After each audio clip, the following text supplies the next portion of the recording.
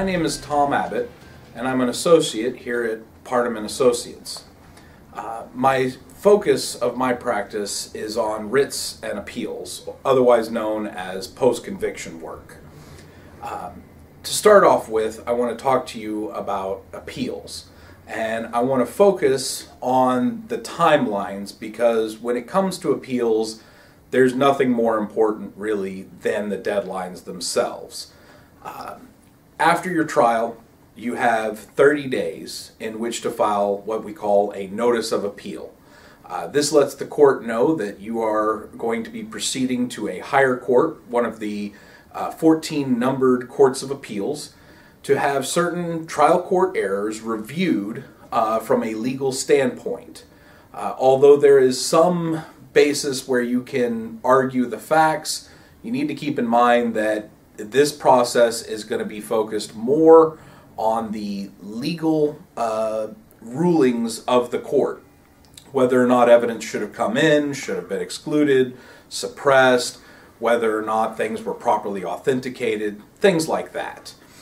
Now, in filing that notice of appeal, it has to be done within 30 days. However, there are a couple of exceptions, and this is where things can get a little bit confusing. First, if you miss the 30 day deadline, you have 15 days in which to file a motion to extend that deadline. So, uh, assuming that you get that in, you can actually have up to 45 days in order to get your notice of appeal to start the process going. Uh, if you miss it, it depends on what kind of case you have. If you have a civil case, that's going to be the end of it. It's a very hard deadline, and they're not going to hear your case because you missed those deadlines.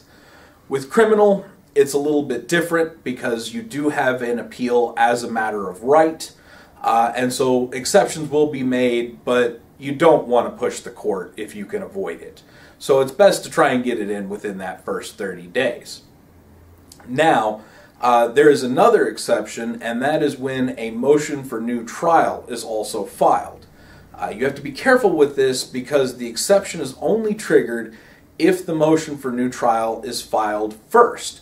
If you file the notice of appeal first and then try and file the motion for uh, new trial, you're going to have a bit of a problem because these things are going to be trying to move simultaneously and they really can't. So, best practice is always to go ahead and file the motion for new trial first if that's the route you want to go. On the motion for new trial, you have the same 30 days in which to file it. However, um, there will be no opportunity to uh, amend that motion for new trial after that 30 days elapses, which is one of the things that makes motions for new trial a little bit more difficult because you've only got 30 days to investigate an error, get it prepared, get it filed, and then you'll be able to argue it. Uh, and you won't have any wiggle room to fix any discrepancies in your investigation or anything like that. Um, assuming you do file that motion for new trial within that 30 days, um, you are going to get an extension on your the filing of your notice of appeal. Uh, whenever you file a motion for new trial, the court has a very hard 75 day deadline in which to deal with the motion for new trial. Um, after 75 days, whether it was resolved or not by the trial court, is going it is going to be counted as uh, you know lapsing uh, by under the timeline of that 75 days.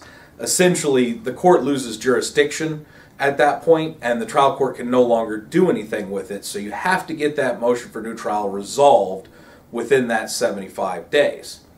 However, back to our original point if you file that motion for new trial uh, before you file the notice of appeal, it actually gives you a full 90 days from the date of the judgment, not from the date of the motion for new trial, um, but you have 90 days in which to file the notice of appeal.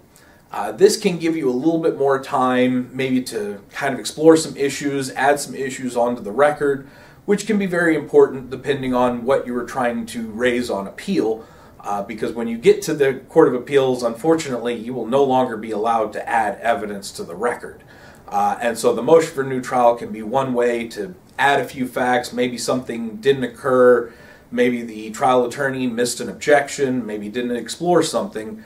You want to try and get that that evidence on the record through the motion for new trial, and so the court, understanding that, has extended it to uh, extended the timeline for the notice of appeal to 90 days, so that you can resolve these things all together.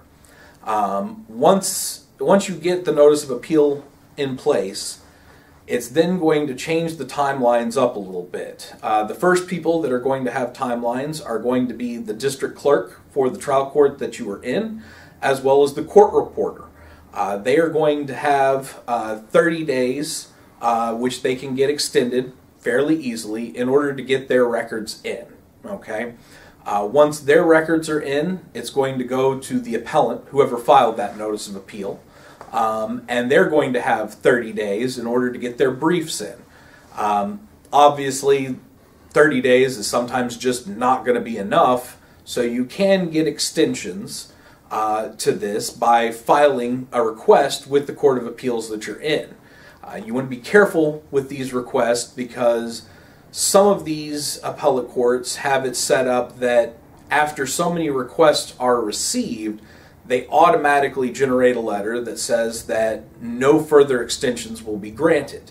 Uh, the First Court of Appeals is pretty notorious for this, um, and it's sometimes best to ask for 60 days on that first motion to extend than it would be to ask for just another 30 because typically, the, if the court is in that position, they're only going to allow you two requests. So you can sometimes get an extra 30 days if you file 60 days on the first one and then follow up with the second request for 30 days, bringing your whole timeline to 120 days in which to read a brief, or, well, excuse me, read the trial transcripts, the clerk's records, and generate a brief. From there, it goes to the opposing party, and, and they will have to do their, or submit their brief. Uh, they are going to be under the same kind of timelines. Uh, however, when you when it comes to the state, the courts can typically be a little bit more forgiving on deadlines. Um, they understand that the district attorney's office probably has a much larger caseload than any individual defense attorney, um, and therefore they sometimes get a little bit more forgiveness when it comes to asking for extensions. Um, regardless, you know, you want to make sure you're keeping up with these timelines and you're getting these things in timely because you don't want to have any problems with the Court of Appeals. Um, they, you know, are going to be reviewing your case and you don't want to run the risk of creating any kind of procedural bar by letting any kind of deadlines lapse.